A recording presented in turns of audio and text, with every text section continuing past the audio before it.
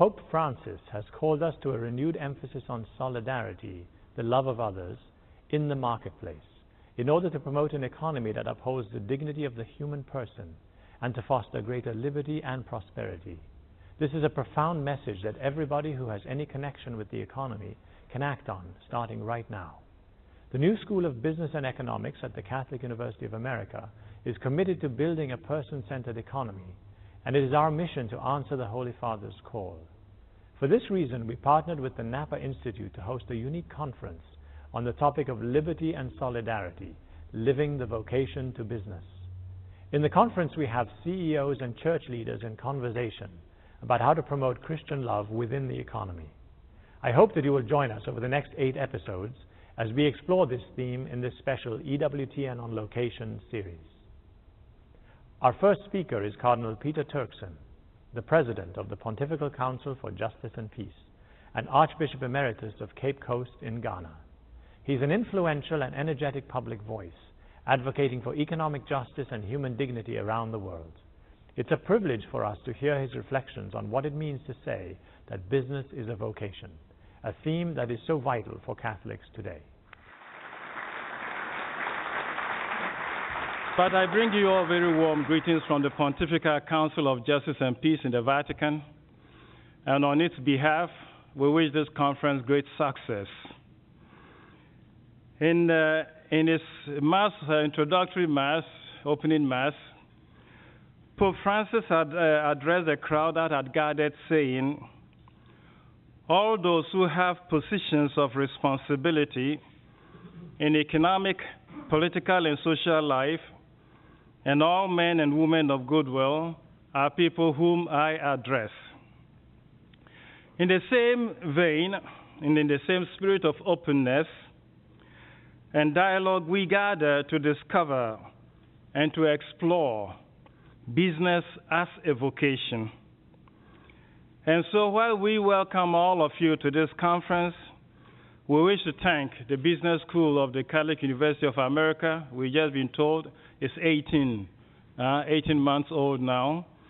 Uh, to thank you dearly and heartily for organizing this with the support of the Napa Institute accepting on behalf of the Pontifical Council to come before you this afternoon to share these thoughts with you on business as vocation just makes manifest one thing that we need to understand very clearly at the beginning. It manifests the great and the growing interest of the church to providing guidance for the world of business. For the church believes that the thing to do is not to point fingers, accusing finger at business, but rather to extend open arms to the world of business and to help professionals understand and act upon the social implications of their faith within business. The church, therefore, wants to encourage and to help entrepreneurs in their very difficult and challenging task of leading and conducting their business in these troubled times with a lot of challenges, with a lot of difficulties. And so, in this spirit, is the, in this spirit then of a relationship encounter, we come to address these few reflections of ours, and we wonder whether this is really not what the Second Vatican Council left us as a legacy. And when we say this, what we mean is simply this. That's at the opening of the Second Vatican Council, Pope John the, Pope John the 23rd had said that he wanted the windows of the church thrown open so the world outside can see into the church, and so the church can see the world outside. That for us signaled a new kind of uh, relationship between the church and the world outside. And we in the Vatican know that this type of gesture, this type of expression of Pope John the 23rd, gave rise to the establishment of several councils within the Roman Curia, which represent the new relationship that the church wanted to develop with society. So, Council for Culture, Council for Interreligious Dialogue, Council for Christian Unity, and finally the Pontifical Council for Justice and Peace, which has got a task and a mandate of providing accompaniment to humanity in all its very many social endeavors and social undertakings.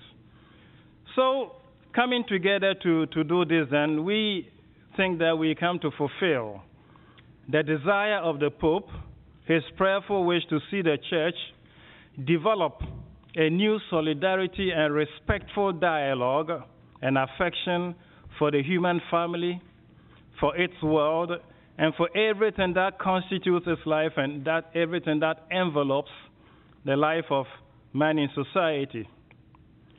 So St. Pope uh, John the 23rd wanted the church endowed with a gospel faith to enter newly into dialogue with the human family, with its world, about all these different problems. Because as the document, you know, Gaudium et Spes of the Second Vatican Council states, the joy and the hope, the grief and anguish of men and women of our time, these are the joy, the hope, the grief, and the anguish of all followers of Christ. So, entering into dialogue with the human family, the church also engages human reason and all forms of human savoir faire, every activity that humanity engages in and it engages in this dialogue with the light of its faith. Wherefore, all forms of human activity are seen in the light of the aboriginal activity of God, the Creator Himself, who then, as a result of His creative activity, created the world and created a human person in His own image and likeness. And so, engaging human activity in dialogue with faith leads to the understanding of all forms of human activity in the image and the, in the, in the image and likeness of the creative activity of God Himself. Human activity then acquires the sense of a vocation.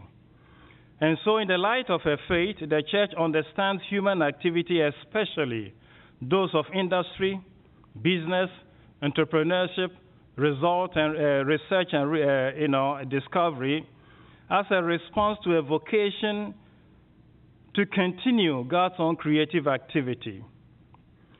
So, created in the image and likeness of God, and given the mandate to till and to keep the earth, human beings continue God's work of creation with every activity that they engage in. And so we wish now to deeply explore this sense then of business, uh, of human activity as a, as a vocation, look at the basic underlying principles, and draw a few conclusions at the end of it. So, how may we understand business as a vocation?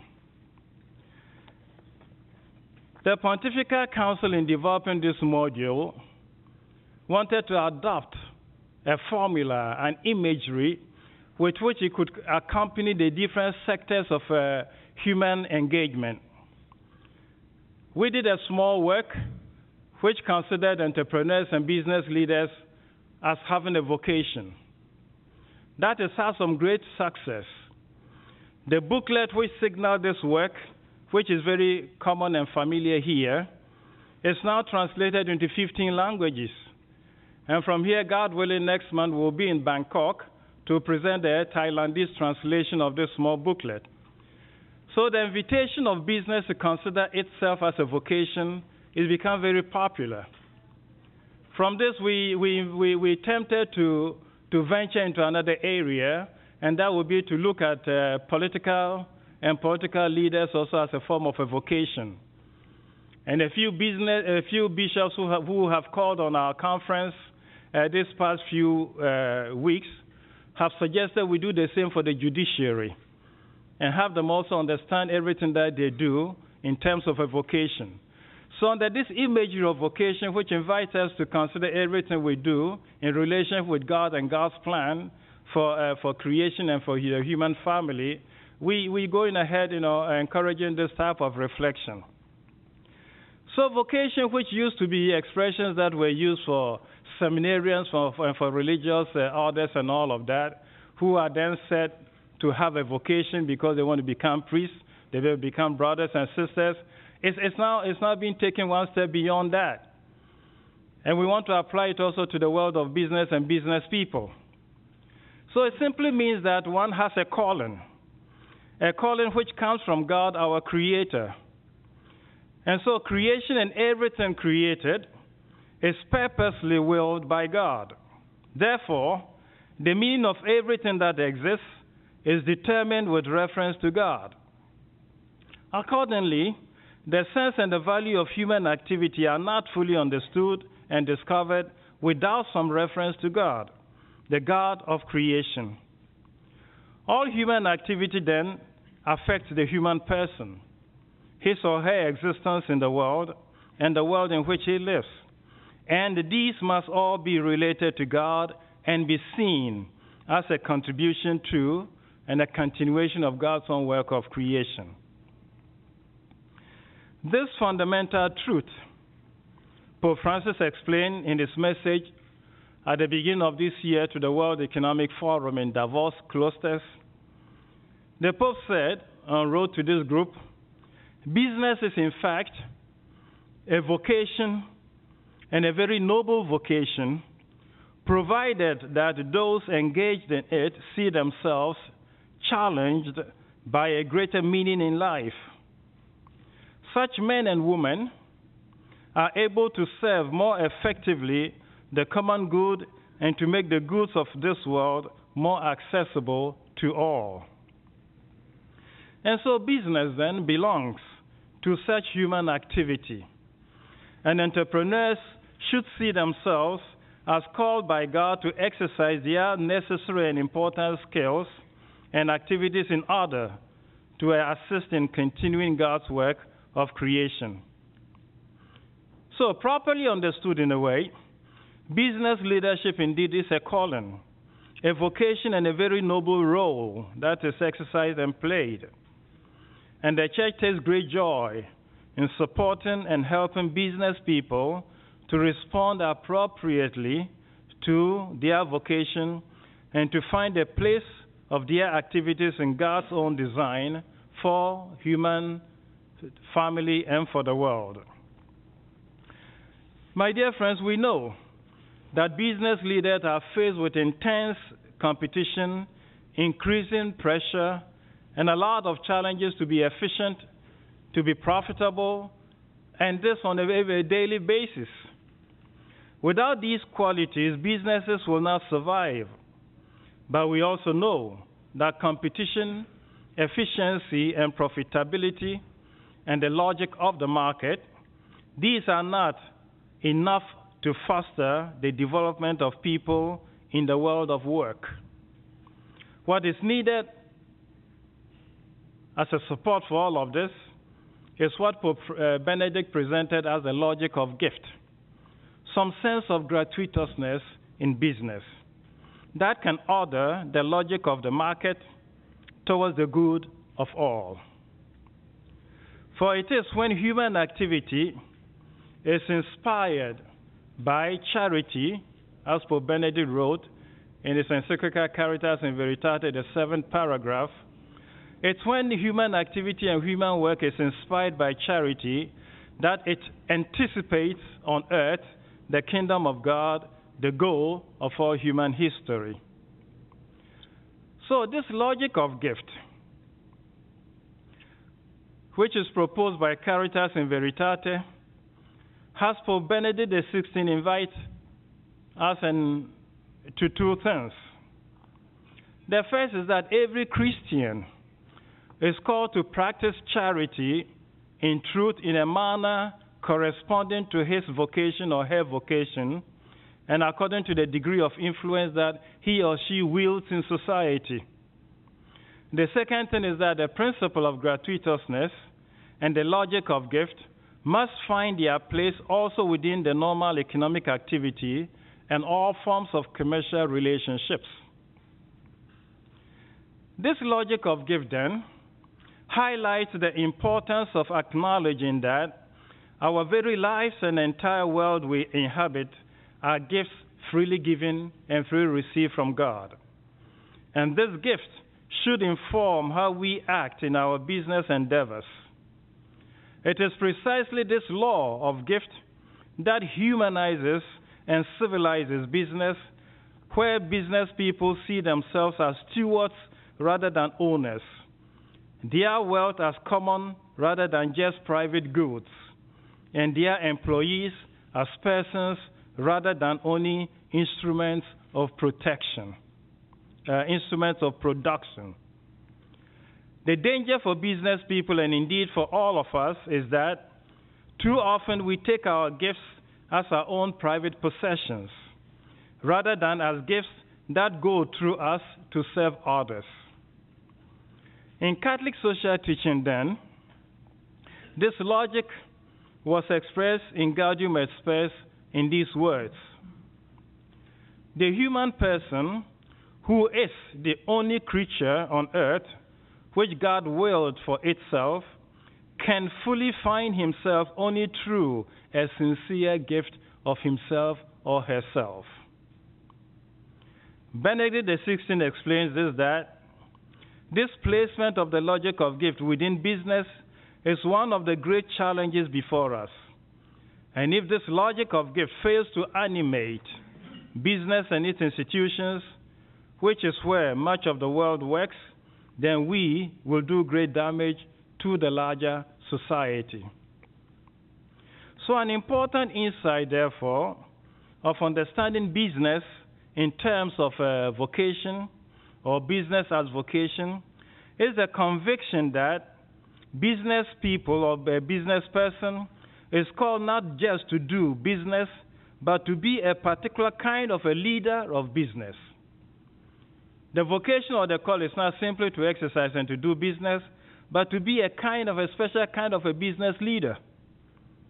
Like any other kind of work, business then must confront what Pope John Paul II called the subjective dimension of work. Because work is not simply producing something outside a person, but work also changes not only the external world, but the interiority of a person, his creativity, his sense of dignity, and his own sense of appreciation of his own self. Our actions then at work, as well as in life, shape our own destinies, and they move us to a place within with, an, uh, with eternal implications. To these eternal implications, business as vocation points to the world the words of Jesus From everyone who has been given, much will be demanded. And from the one who has been entrusted and given much, much will also be asked. Business people then have been given great resources, and the Lord asked them to do great things. As Pope Francis said to the business people gathered in Davos, you have distinguished yourself in the way you perform, in the way your activities modify and change things. Please use the same one to lift people out of poverty and to help save the world of its poor conditions. This gifted character of business then carries social implications. Business leaders then have significant means to undertake something and with this comes a corresponding responsibility. Accordingly, understanding business as vocation, the church sees business not in terms of legal minimalism do not cheat, do not lie, or do not deceive. Rather, the church sees the business as a vocation that makes an irreplaceable contribution to the material and even the spiritual well being of humankind. It is about a meaningful life that opens the business person to God's will and not simply their own will in the day to day decisions of ordinary life, which gives us the capacity to share goods in common and to build a community. This sense then of business as a vocation leads us to basically underline and discover certain basic foundational principles that kind of make this possible. For the vision of business, which is generated in its encounter with faith, is grounded in and articulated in the church's social teaching or doctrine of the church. And at its center is the fundamental dignity of all human beings who are created in the image and the likeness of God. This expresses God's infinite love for us. Faith denies that a loving God would wish on truth, bondage, injustice, and strife for us. Rather, based on divine love and human dignity, our faith completes, compels us to embrace four fundamental values, namely truth, freedom, justice, and peace. Clearly, these values are not unique to the Catholic faith or Catholic perspective. Several monotheistic religions and faith share the same and talk about the same values. But because they are grounded in a divinely and lovingly created human nature, as taught by the Catholic social teaching, we have an absolutely firm response when such values are challenged or even denied. And so, Catholic social teaching enunciates many other principles, some of which are especially pertinent to the world of business. For example, service to the common good comes before serving narrower interests. The goods or resources of the world have a universal destiny. Creation is a gift to the whole human family, not just to a part of it. And we call to act in solidarity with those who lack access to these goods, with a large portion of humanity who suffer in the midst of plenty. This vision of business is not without significant tensions, and it's not easy to execute in today's world. There are many external obstacles that can prevent a business leader from shaping institutions in this way, such as the absence of the rule of law, or the absence of regulations, corruption, tendencies towards greed, poor stewardship of resources, and so on. Chief among these obstacles, we make bold to mention, is the greatest danger and probably the biggest obstacle is that thing of a divided life, which is one of the most serious errors of our age. The split between religious faith and the day to day business practices and activities can lead to imbalances and misplaced devotion to economic success. And this is a crucial point that we probably will say just a second or two on. What this challenge of divided life calls for is that business leaders receive and accept what God has given uh, has done for them, and to have this gifted life inform and order the way they give and enter into communion with others. When business people then integrate prayer, for example, the Lord's Day, the scriptures, the gifts of spiritual life, the virtues and ethical social principles into their own life and work, they live an integrated life and receive the grace to foster the integral development of all business stakeholders. So it is so important that business leaders succeed in bridging or overcoming the tendency to live divided life.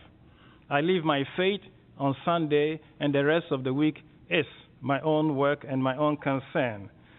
The encouragement, and indeed, this has become the subject matter of the synod that was just celebrated about new evangelization.